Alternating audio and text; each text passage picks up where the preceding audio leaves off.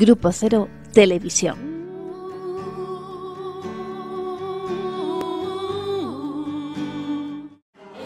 Radio Televisión Grupo Cero presenta Poetas Despiertos en Acción.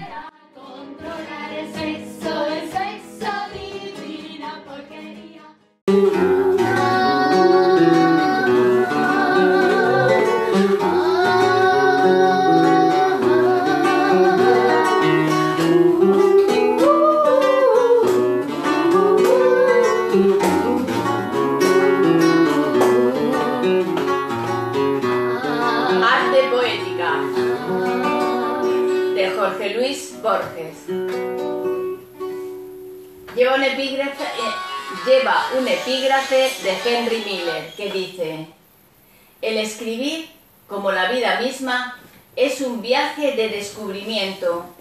La aventura es de carácter metafísico, es una manera de aproximación indirecta a la vida misma, de adquisición de una visión total del universo, no parcial. Y ahora viene el poema de Borges, arte poético. Perdón, ¿eh? mirar el río hecho de tiempo y agua y recordar que el tiempo es otro río. Saber que nos perdemos como el río y que los rostros pasan como el agua. Sentir que la vigilia es otro sueño, que sueña no soñar y que la muerte que teme nuestra carne es esa muerte de cada noche que se llama sueño ver en el día o en el año un símbolo de los días del hombre y de sus años, convertir el ultraje de los años en una música, un rumor y un símbolo, ver en la muerte del sueño, en el ocaso, un triste oro, tal es la poesía que es inmortal y pobre la poesía vuelve como la aurora y el ocaso. A veces en las tardes una cara nos mira desde el fondo de un espejo. El arte debe ser como ese espejo que nos revela nuestra propia cara. Cuentan que Ulises, harto de prodigios, lloró de amor al divisar su Itaca, verde y humilde. El arte es esa Itaca de verde eternidad, no de prodigios.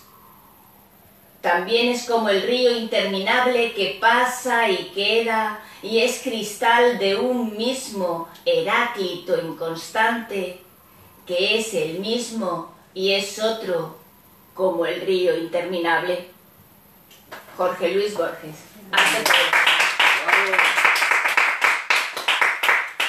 Grupo Cero explica, simplifica, divide y ama la libertad. De pronto entró la libertad. La libertad no tiene nombre, no tiene estatua ni pariente. La libertad es feroz, la libertad es delicada. La libertad es simplemente la libertad. Desde el centro neurálgico de la Moncloa, poetas despiertos, en acción. Bueno, vamos a por ello.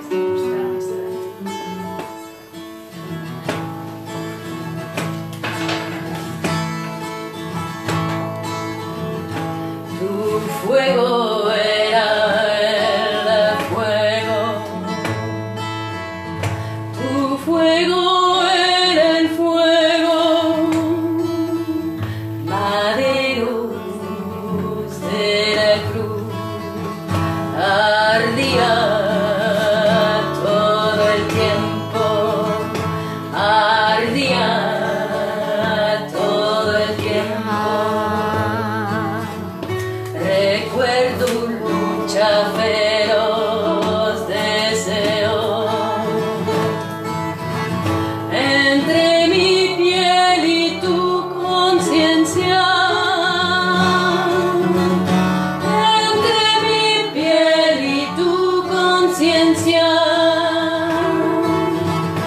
siempre triunfaba.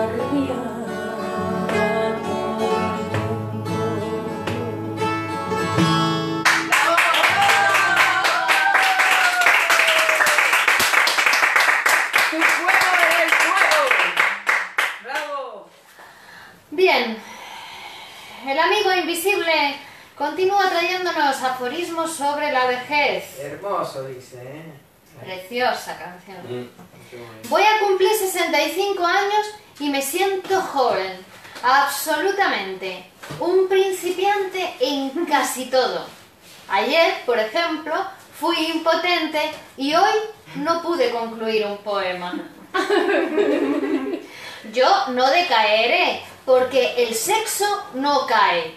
Y si mi escritura sigue hacia adelante, se encontrará con un tope. El sexo no cae. La vejez es lo de menos. Tratar de ocultar el paso de los años es la única vejez. Aquí me tenéis, rejuvenecido y hasta más sano que hace algunas décadas, solo por ponerme a pensar en nuevas realidades.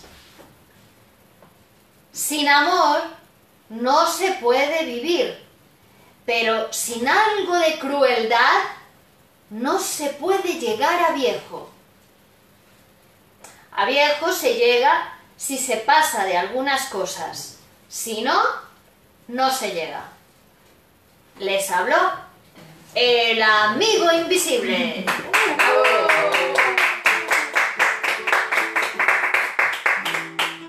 Hay que felicitar a los artistas de flamenco, tango y poesía que ayer nos deleitaron con una excelente actuación en el Teatro Intemperie. Disfrutamos muchísimo. El público estaba deseoso y también disfrutó una barbaridad. Y, Qué pasada. Claro, claro. ¿Cómo disfrutamos? eh? Fabuloso, sí Muy que. bueno el espectáculo. Sí, agradecer a estos artistas. Y agradecer al público porque fue maravillosa esa interacción, eso que se produjo ahí, ¿no? Ese amor imposible hecho realidad. Claro, que fue todos juntos. Todos juntos, amor múltiple. No como el que nos presentan en las televisiones, en las películas, que siempre nos presentan una vida tan desagradable Ah. Eh, una de las características, me parece que de la poesía de Menasa y de su pensamiento, es que presenta toda la variedad de la vida de las personas, es decir, que es educativo cada decir, que, siempre te da una enseñanza que, que incluye el humor, que incluye el amor, que incluye el sexo y que genera vida. Que incluya al otro. Claro, todo el mundo que se, se siente tocado por, por algo de las palabras, ¿no? Todo, una humanidad en, en su decir impresionante. Así que Disfrutamos. No es preciso padecer todas las cosas, que se pueden hablar, ¿no? Claro. Que son palabras, ¿no? Que todo se puede. Ayer precisamente leíamos en el, en el Facebook de Miguel Oscar Manasa un trabajo que, ha, Ah, oh, que acaba lo de publicar. leer, ¿no? ¿Lo podemos leer? Sí, sí, sí, Porque sí, es, es buenísimo en relación con, con cómo se presenta el suicidio eh, medios de comunicación y cómo es tratado por, por los estados. Entonces, vamos a leerlo. Eh, ¿Quién es? Que no me he enterado. es un escrito que, eh, que escribió el poeta, médico, psicoanalista Miguel Oscar Menasa y que Ah. publicó ayer en Con- su Facebook en Amelia. colaboración con Amelia Díez Ah, y dice, el suicidio, advertencia al. En ministerio relación a una... a una noticia que salió ayer en televisión donde los expertos decían que se producen 10 suicidios al día en España. Y entonces llamaron al programa de televisión para hablar sobre este tema a una novelista, en vez de llamar a, un experto en el tema. ¿no? Entonces, el escrito dice, advertencia al Ministerio de Salud Pública y a los periodistas. El suicidio, ¿un dato literario o una cuestión psíquica? Una ciencia siempre trae una nueva realidad al mundo, algo que sorprende incluso al propio científico, algo que se encuentra buscando y que se caracteriza por encontrar otra cosa que la que se buscaba. Los propios científicos contemporáneos de Newton no creían en su fórmula de la gravedad porque se preguntaban acerca de cómo sabía un planeta a qué distancia estaba de otro planeta. Los profanos, incluidos los científicos anteriores a cada nuevo paso de la ciencia, no pueden aceptar porque quieren comprender. Y comprender es comparar con algo conocido y ahí, en ese acto, se pierde la novedad. Los periodistas, al menos algunos periodistas españoles, cuando invitan a su programa a un experto en la materia que quieren tratar, no permiten que dicho experto hable desde su saber científico, pues es... Se preguntarán, ¿cómo puedo decir eso? Pues es muy fácil. Cuando el experto expone su saber, el periodista lo compara con su propia opinión, le cuestiona su decir como si no fuera la ciencia la que lo dice, sino como si fuera una opinión del experto. Más aún, a veces solo quieren que diga lo que los periodistas opinan para sentirse avalados por el experto. Y la mayoría de las veces, para no encontrarse con ninguna verdad acerca de la cuestión, llaman a una novelista conocida, como ha ocurrido hoy, 13 de julio de 2018, para hablar sobre el suicidio, puesto que los que estudian estas cuestiones han dado la noticia de que en España hay 10 suicidios por día. Y eso los contabilizados, porque también están aquellos suicidios ocultos tras el secreto familiar. Tratar el suicidio como si fuera un dato literario es no ocuparse del problema, un problema que afecta a una población muy amplia, puesto que están incluidas todas las edades, todas las clases sociales, los distintos sexos. Una enfermedad grave desde el punto de vista científico porque ha llevado a la muerte. Sabemos que las tendencias suicidas son anteriores al acto suicida. Sabemos que el suicida ha recibido una ofensa por parte de un ser querido o de un sustituto de un ser querido y no ha podido resolverlo sino matándose para salvar a la persona a la cual tendía a querer matar. Las tendencias suicidas se han vuelto sobre la propia persona y ha terminado matando al que lo ha ofendido, pero en sí mismo. Está muy bien explicado, ¿no? Se bien, entiende muy sí, bien. Muy bien. Es decir, no te voy a matar, sino que me voy a matar a mí. Para matar al otro. para matar al otro, me mato a mí porque estás en mí. La ofensa ha podido ser involuntaria, en el sentido de que esa persona ha provocado en el ofendido una pérdida de ideal, una pérdida de amor, una pérdida que desconoce. Lo que no sabe es que hay otras maneras de resolver el querer matar y el querer morir. Y es encontrar un lugar donde pueda hablar de ello sin tener que hacerlo. Las cuestiones amorosas son la fuente más habitual que lleva al suicidio. Si tú no estás, muero, dice el amor, que se puede traducir como tú no eres nada más que una de mis sombras. Cuando se pierde un amor, no importa el motivo, ya sea abandono por muerte, porque terminó el amor, por decepción, por otro amor, etc., hay quienes se identifican con lo perdido y pierden una parte de su propio yo. Se transforman en parte en lo perdido. La sombra de lo perdido ha caído sobre el yo y el yo ha quedado herido y ensombrecido. A partir de ahora todo lo ven gris porque su mirada y su escucha se han vuelto grises. Cesare Pavese, un poeta, escribió que el suicida era un homicida tímido. Algo de verdad había en su decir. Pero lo que no dijo es que el psicoanálisis es una herramienta para transformar la miseria psíquica de un enfermo de amor en una pasión por vivir que incluya el infortunio corriente.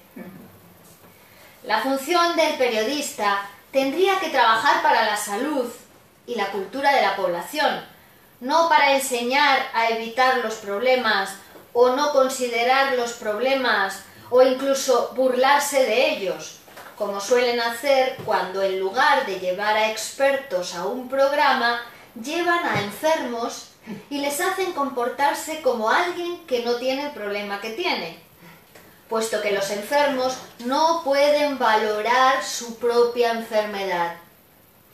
¿Se imaginan un enfermo de cáncer que está a punto de morir y como, y como ignora la dimensión de su enfermedad, incluso no le duele nada, muestra la alegría de tener sus 15 minutos de fama?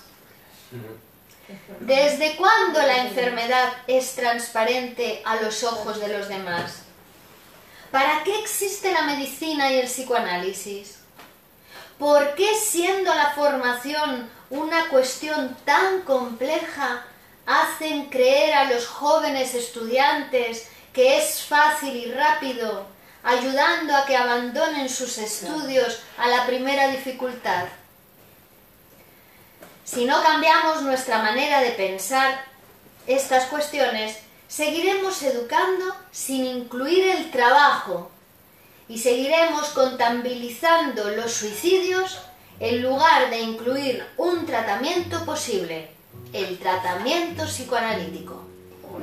Miguel Oscar Menaza, médico, psicoanalista y poeta, en colaboración con Amelia Díaz. Pero es interesante, ¿no? Porque claro, en las entrevistas en televisión te parece que eso, que ser médico no es nada, que el periodista sabe casi más o menos lo mismo que el experto. Y entonces reducen todas las carreras, ¿no? Parece que ser periodista es... En eh, Canal Sur, cuando llegué a uno de los programas, como colaboradora, lo primero que me dijeron es, usted no utilice un lenguaje complejo científico, usted no dé consejos a la gente, usted sea sencillo.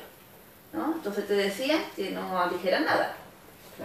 Porque claro, si, no, si eres un experto en algo y no puedes ni aconsejar, ni puedes decir, ni puedes explicar a la gente, ¿qué vas a decir? Pues esa era la puerta de entrada para la televisión pública en Andalucía. Sí, Con respecto a los suicidas, hoy leí una estadística desde el año 2007 a la actualidad, 17.000 casos de suicidio por cuestiones económicas. Claro, es que últimamente. claro. ¿Desde qué año? 17.000. Del Del 2007. 2007, 10 años. Claro, con lo que es la crisis. Aquí tenemos a Hugo Nicolás Kalashnikov, pensar en nuevas realidades. Mendizábal Oscar, hola amigos. Yacintia Chaparro, hola, buenas tardes, poetas, hola Yas. Jesús Barrera saluda y María Fernanda Sosa saluda. No sé si tenéis más comentarios por ahí, estos son los que yo veo. Cantemos algo, a ver. Y tengo la de la sabiduría, que es cantar la de la sabiduría. venga. Esa no tiene mucho que ver.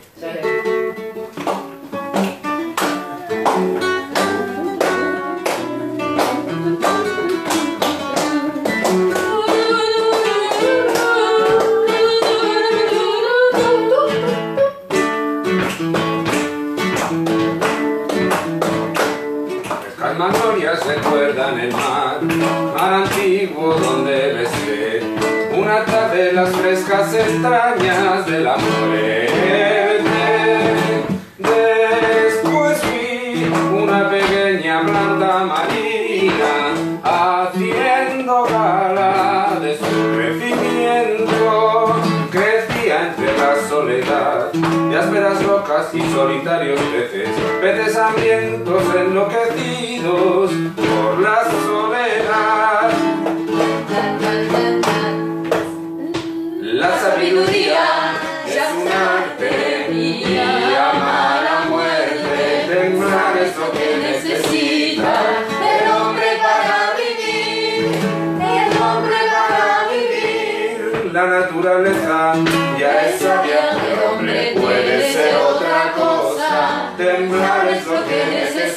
Father.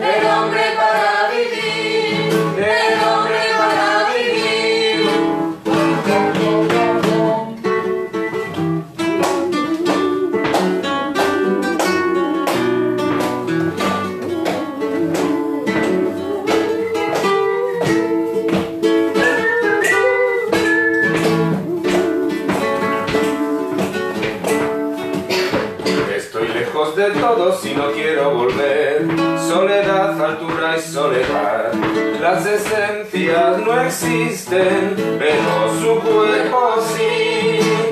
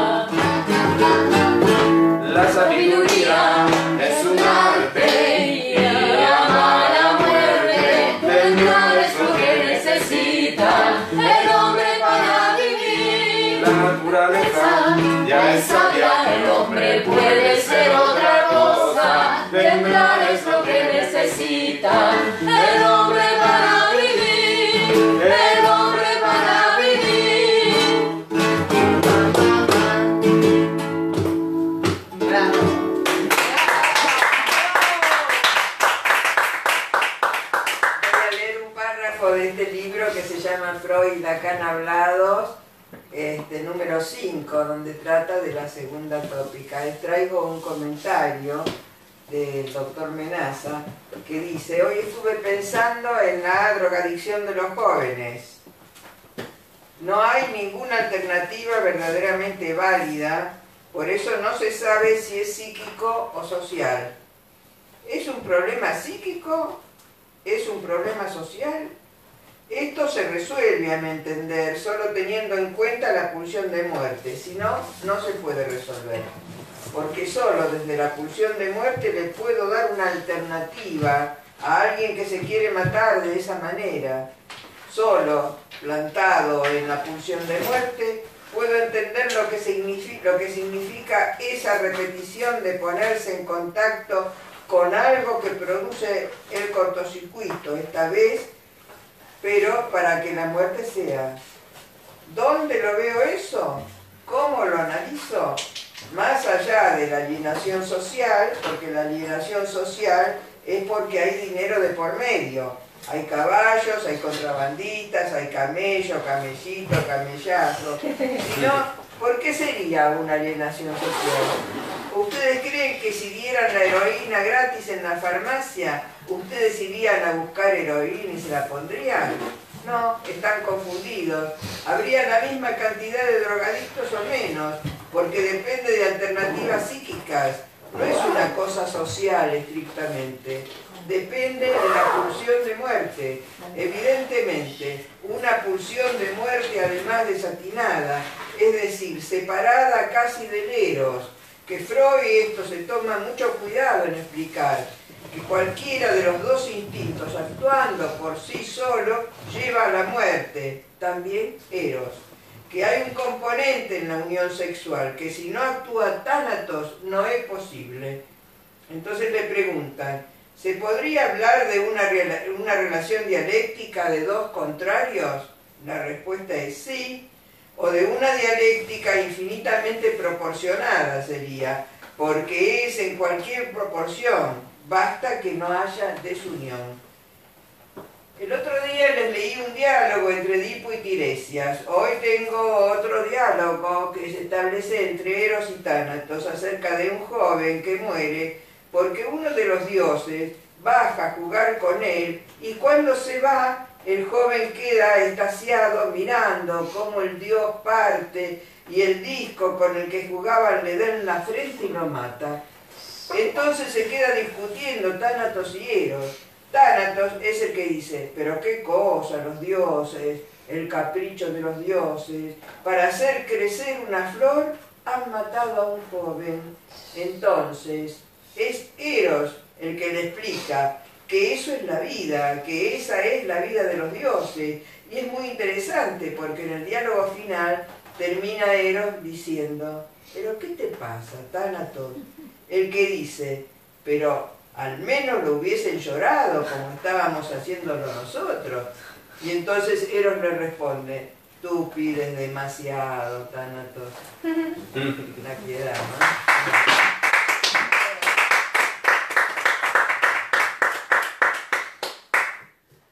Ay, que ha ganado, que... ha ganado Francia, señores. ¿Ah, sí? Ay, sí. Sí, pero me ha ayudado por los árbitros. ¿eh? Bueno, Francia o África, ¿quién ha ganado? por los Ah, árbitros, dices. ¿No os habéis enterado? Que Está jugando y de repente le llaman al árbitro del bar penalti. ¿Cómo? Que ha sido penalti y nadie lo había reclamado. El bar, ¿sabéis lo que es? Una cámara que lo va... sí. Entonces de repente están jugando y le llaman al árbitro. Que ha sido penalti, para el partido, para el partido. para el partido. Que ha sido penalti. ¿Y qué ha pasado? Que uno le ha dado con la mano y nadie lo había visto. Ni el árbitro ni ningún jugador nadie lo había reclamado. Nadie lo había pitado ni... y de repente ningún- llama y dice, no, que ha sido penalti. Y bueno, pues penalti. Y luego, Y puso el gol, ¿no? Y puso el gol, claro. Pero sin y ir luego el otro ha sido una falta que dicen que no ha sido, que ha sido un piscinazo. Que se ha tirado a la piscina, vamos, que no... Pero ahí digo, y ahí no entra el bar. Ahí no lo pueden ver también en el bar y decir, no ha sido falta. Es que ya tenía mucho efecto de las copas. ¿Veis estas el bar? doble, Yo tengo Están con el bar, están todo el día en el bar. Pero, está Pero una cosa, era el, el equipo francés realmente es un equipo compuesto por, por, por jugadores de otros países, ¿no? Por africanos, sí. Ah, para eso sí, españoles. para eso sí quieren algo Claro. extranjero. Y Griezmann está jugando, es eh, vasco porque nació en Francia pero ha estado toda la vida, es de la cantera de la Real, Ajá. Griezmann. Y luego hay otro Hernández, José, Lucas Hernández, Sí, hay Ahí dos va. españoles, ¿no? sí, Y hay Pero tres bueno. jugadores que son del Atleti, ¿no? Ahora. de esos los Hernández. Reclamemos para España parte del Ah, título de Francia. Eh, eh, eh. No. No se lo merece, pero Macron no nos gusta mucho. Ah, pero no sabía, entonces, ¿ves? Porque dicen que en el 98, cuando ganaron, hay algunas lenguas ahí, lo vi en una película incluso en Mauritania, van contando que cuando Francia ganó a Brasil en el 98, dice, fue muy fácil, dieron un camión de arroz porque, viste, Brasil es muy pobre y le dejaron ganar. Ah, Que es un poco lo que pasó, porque estaba Ronaldo jugando ahí en el equipo brasileño y justo al principio del partido se lesionó. Ah. Tuvo que abandonar el mejor jugador de Brasil, tuvo que abandonar el- la final del Mundial para dejar ganar a Francia. Sí, Pero ganó. Yo, yo pienso así. Y ahí ganó, es con ¿no? lo que tú me dices, porque yo no vi el partido, no sé, pero el, si lo que tú dices es muy probable. sí, lo del ha sido así, ¿eh? Un penalti en un momento crítico, que iban Que ahí... Francia ha comprado su Mundial. Sí, ¿por qué no lo va a comprar? ¿Viste el dinero que ha gastado ayer con lo, en A el ver, desfile? cuenta eso, cuenta eso, que muy... ¿De qué desfile? Lo del desfile de... Del 14 de julio, ¿no? Que hay un vídeo que circula por internet, que yo vi por casualidad. que Por se ve- casualidad, por casualidad. Sí, pero voy por internet y me encuentro con eso. Y entonces estaba la tour, está la Tour Eiffel y hicieron el festejo, el final del festejo del 14 de julio con un super fuego de artificio.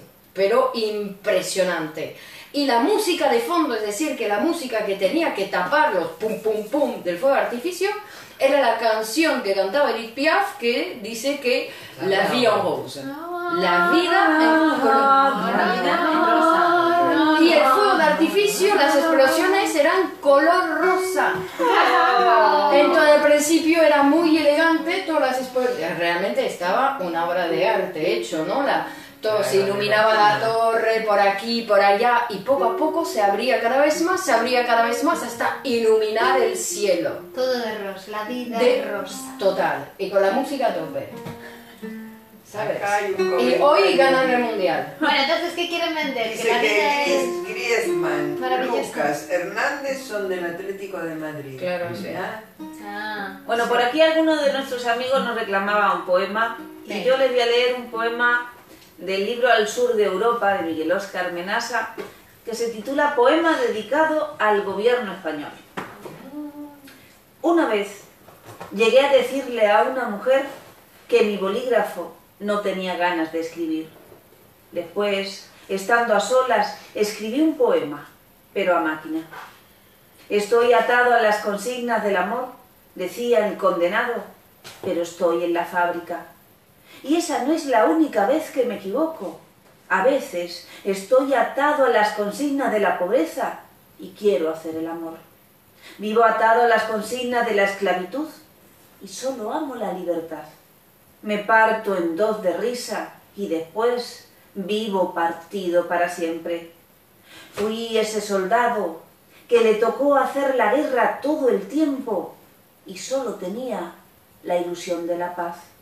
Y vi caer palomas de la paz atraídas por el fragor de las batallas y yo mismo disparé contra palomas falsas que te hacían creer que la comida era la libertad o bien que la libertad y la paz eran posibles sin comida. Y hubo días negros, tenebrosos, catástrofes incontables, donde las palomas de la paz se mataban entre ellas. La paloma, en definitiva, era un pájaro cruel y por eso fue elegida como símbolo de la paz. Es capaz de matar por casi nada a un hermano herido que se declara perdedor. Vivo atado a las consignas de las palomas y voy por el mundo buscando un ser humano, alguien que amando la libertad no quiera volar, alguien que al declararse vencido no piense en morir, un hombre, una mujer que amen por amar, una mujer, un hombre que construyan las sombras, que atraviesen el sol con una lágrima y rompan las cadenas del amor al partir. Bravo.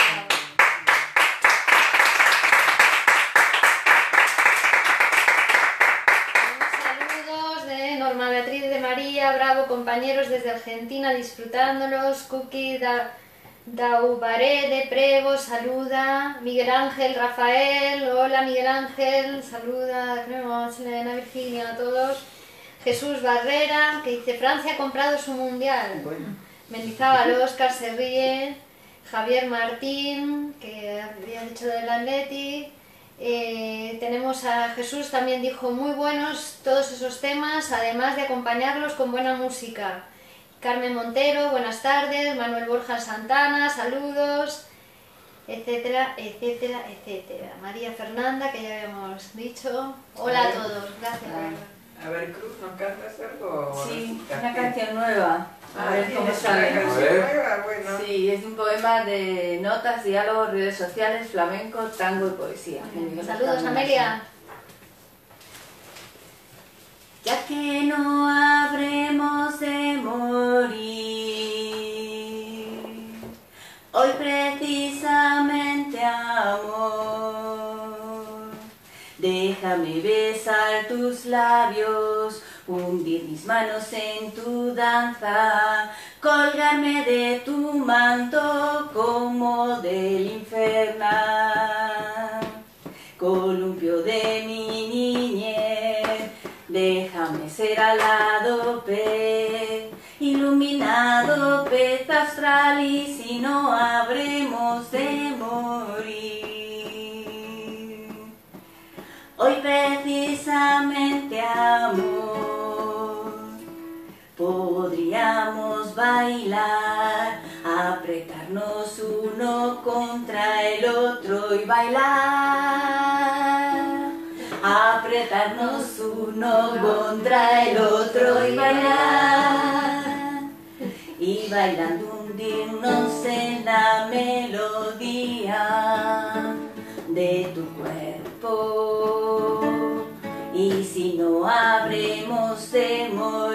hoy precisamente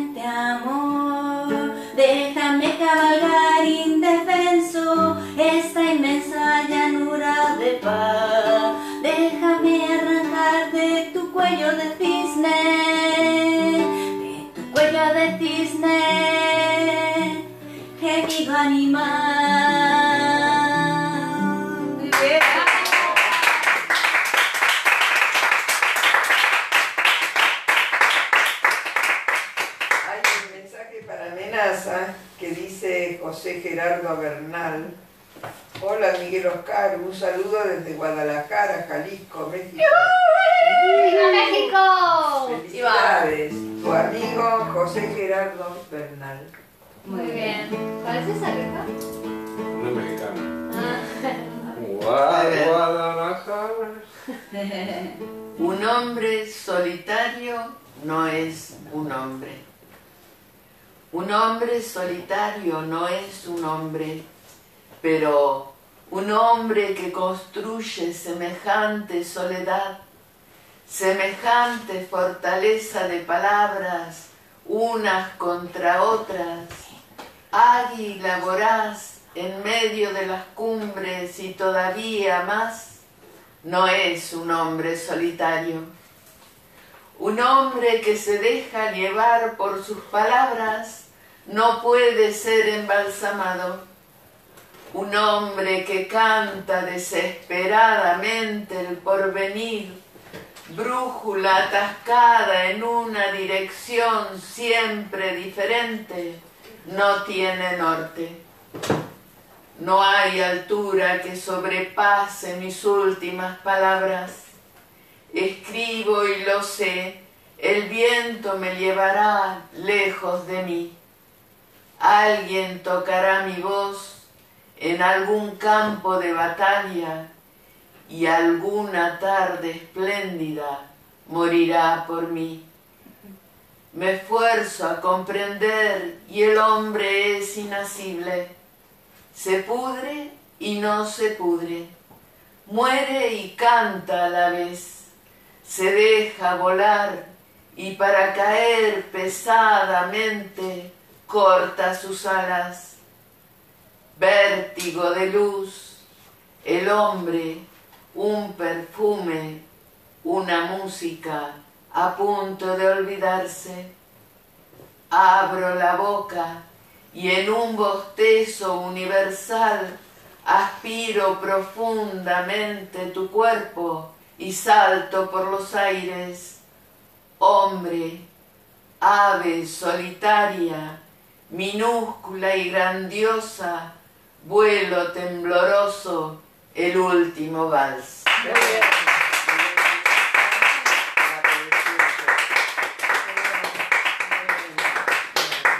¿Una canción? Sí, a ver. Bueno, a ver. aquí me acaban de felicitar por el mundial y dicen que Francia ha sido una gran selección. Sí, claro. ¿Ok?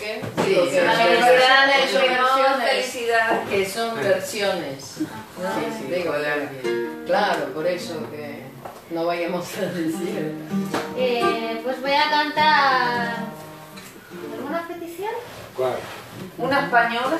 ¿Qué, qué día? La de- Si tenías una idea. Sí, la del cordero no hace mucho que no la La de. María la hechicera, la canté la vez pasada, pero la puedo No, volver pero había otro, el del abuelo. ¿Esa es la del abuelo? Sí, Sí, la esa, está hermosa. la puedo cantar Sí, otra vez, ¿no? A ver.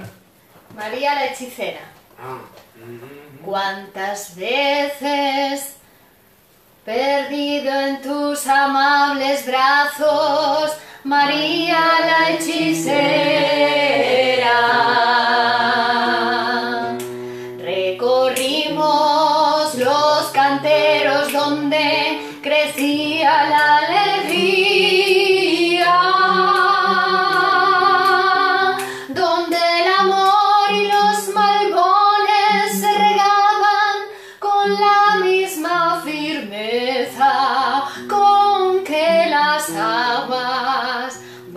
De las montañas en primavera para regar los campos araucanos.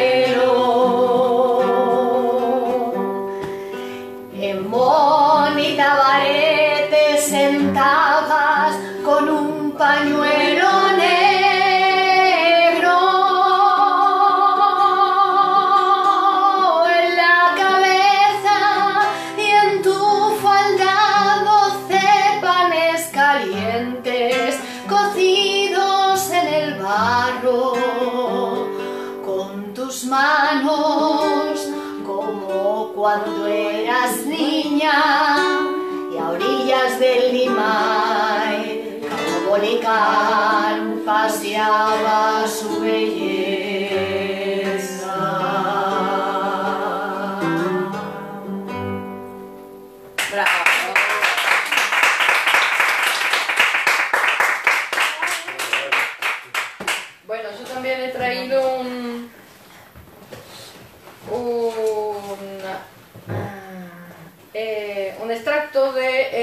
Psicoanálisis del Amor.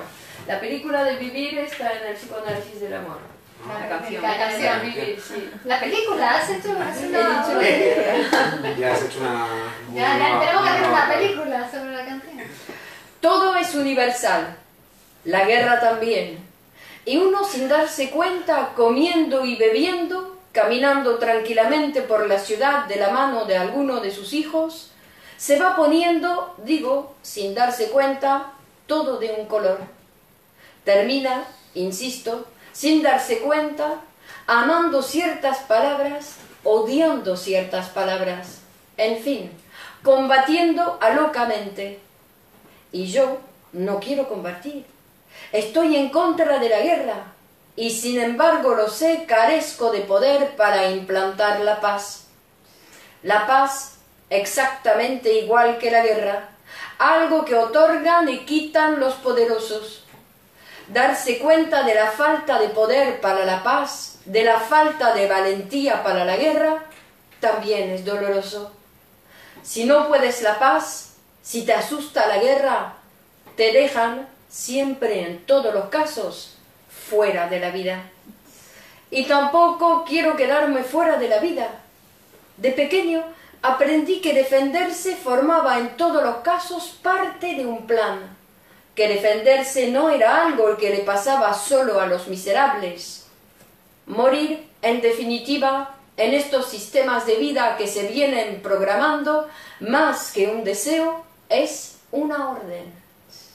En consecuencia, las palabras pronunciadas nos indican que también nosotros estamos en guerra, uno contra el otro, otro contra el uno. El poeta a veces sabe lo que dice, y teniendo en cuenta que los cataclismos se producen tanto en las grandes guerras como en las guerras pequeñas, propongo una nueva forma de vivir. La gran guerra, una guerra de las palabras contra la biología, contra la física moderna. Basta de llantos matinales, basta de amor, porque el amor es todo nuestro. Es hora de zarpar, el mundo nos espera. Psicoanálisis y poesía, dos interesantes miradas sobre la vida de los hombres que, como toda mirada, única o doble, ya que el doble es consecuencia y máscara de la dialéctica de lo único. Son insuficientes. En ella, todo cierre es tan solo una nueva metáfora. Quiero decir, en ellas, todo es infinito en los contornos de un universo finito. Dos miradas extraviadas en ser, siempre una novedad, y sin embargo, hablar solamente, escribir solamente, dos formas privilegiadas de lo único. Por ahora, psicoanálisis, poesía, dos grandes y corpulentos valles de lágrimas. Por ahora, todo es dolor, todo, crítica punzante. Por ahora debemos decirlo, nadie aprueba los exámenes. Psicoanalistas y poetas hay pocos. Muy bien. Había que terminar un momento.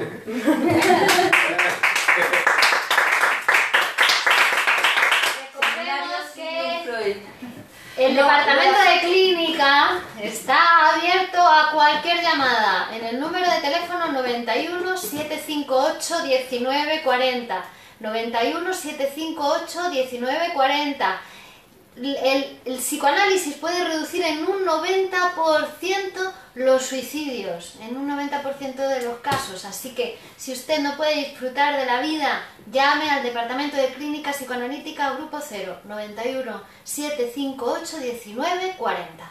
Y tenemos que recordarles que está abierto el periodo de matrícula para el nuevo curso 2018-2019 para los seminarios de formación en psicoanálisis en la Escuela de Psicoanálisis y Poesía Grupo Cero y también las matrículas para los talleres de escritura de poesía Grupo Cero, que como ustedes saben se pueden hacer en Madrid y también online. Una oportunidad para que haya más psicoanalistas y más poetas. Y les recordamos un evento muy importante que tenemos esta semana en Grupo Cero. El próximo sábado, 21 de julio, a las 19 horas tenemos la fiesta fin de temporada de la escuela, eh, de donde bueno, vamos a celebrar con una, charla, tertulia, conferencia que versa sobre psicoanálisis y poesía con Miguel Oscar Menasa, donde tendremos la posibilidad de formularle preguntas al respecto de esos dos rubros. Tenemos ahí al especialista y que tengamos la oportunidad también a través de, de Facebook de preguntarle pues, más sobre esas dos cuestiones. Y después habrá un recital poético de su poesía que se titula Todo final es un comienzo. Y bueno, para los que asistan, en calle Princesa número 13, primera izquierda, pues luego habrá además un cóctel Ah. para deleitarnos, Algo para celebrar y comer y eso. Así que están invitados, es un espacio para compartir, que también compartiremos desde Facebook para nuestros amigos que nos ven desde otros lugares. Así que apúntenlo en la Acérquense al continente, poesía y psicoanálisis. Grupo Cero. Hola María, saludos, saludos. María García. Y bueno, si os parece... Hoy no hemos cantado el himno, pero claro, tenemos dos, himno y sexo, ¿no? Bueno, no, nos vamos con el sexo que... Nos, vamos con el sexo, sí. Psicoanálisis y poesía, muy, bueno. Saludos para todas, mujeres poetas, felicitaciones. Muchas gracias, excelente, muy bueno, muy bonito. Qué bien canta, bravo. Muy bien, gracias a todos. ¿Vamos por el sexo? Venga. Venga. Sin sexo no hay vida. Un, dos, tres. El sexo, el sexo, divina porquería, que todo el mundo quisiera controlar. El sexo, el sexo, divina porquería.